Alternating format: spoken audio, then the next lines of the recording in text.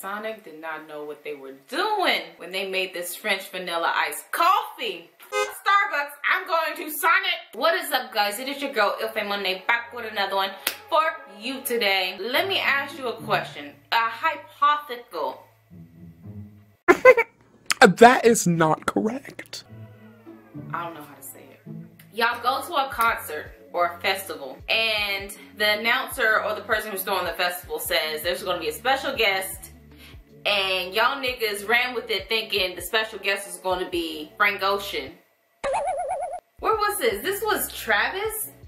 No, this was um Golf Wang. I, I keep getting Astroworld and Go, the Golf Wang one confused because it's like why would you do two festivals at the same time? But anyways, Tyler didn't even say who was going to come. He just said there was going to be a special guest at the end. And y'all motherfuckers just ran with it thinking it was going to be Frank Ocean. Tyler, the creator, brought Drake out. And y'all were booing Drake? What's up? If you want to keep going, I will keep going tonight. Well, look.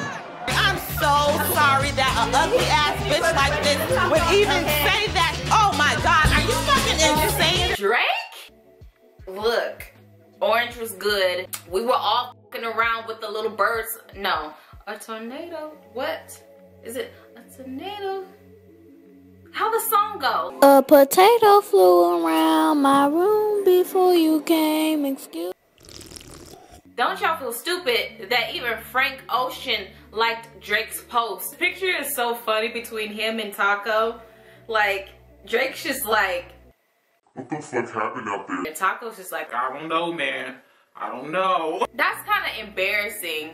I'm sure Tyler was embarrassed. So, my girl Doja Cat, my girl Mr. Moo Moo, Mr. Mrs. Moo Moo, ugh, has been doing the damn thing. And I know we made fun of her in the beginning. I know it, but Miss Little Doja Cat has really proved herself. I was watching What's that? I was watching, well, I didn't really watch Cyber Sex. It's not my favorite. What's that one song, Rules? I'm sure Rules is everybody's favorite. But that music video, I love Doja's little concept with the cat thing. Like, that's her whole thing.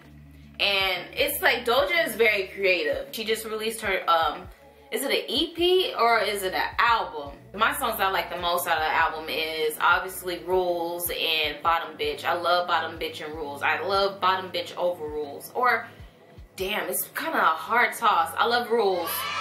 Yeah. Another shout out is Tinashe. At first, I was not listening to her. She's like, to me, she's one of those people you gotta get into. Like, you just gotta like their sound. And I'm not can't even get into FKA Twigs. I know everybody be listening to Lana Del Rey. It's like maybe there's just a song that I'm not hearing or, you know, something that I just haven't gotten into. But what's that one song she came out with Miss Banks? I was like, um, you might got something with this one. Little Summer Walker walking down the street. She didn't know what she'd do, so she stepped in front of me that actually flowed. I did that. She told y'all asses that she does not like being touched. I don't know what y'all don't get about that.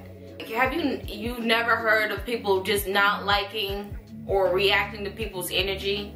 Like with all this like mentality and self-positivity and growth and whatnot that's been happening on the internet, you telling me that you've never heard that people don't like being touched because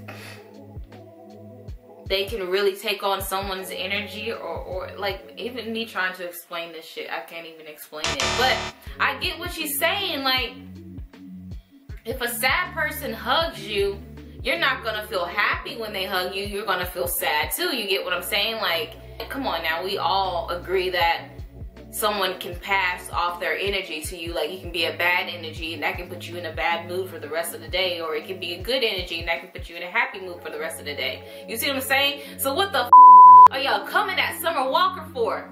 She told y'all she doesn't like the fame. She doesn't like all the attention and whatnot. And that's kind of like every celebrity complains about the fame and attention. And no, because you are a celebrity, being a celebrity does not imply that these are just things you have to deal with. Like, y'all gotta leave Summer Walker alone. Just leave Summer Walker alone. Just, you got to. You got to. Leave the child alone. Y'all are really messing with her, her, her balances. Y'all really throwing off her balances. You buy, okay, if I were to buy a meet and greet, well, no. If I already understand this about the artist that I'm going to meet for their meet and greet, I, I, I mean, I would be upset, but I would also understand, you know, like this is something they've told us before. Just expect that, that this could be something that will happen, you know? But if this was like an artist that's never said this before about themselves, then hell yeah, I'd be pissed. Like, what the fuck? I bought a meet and greet. You gonna shake my hand, okay?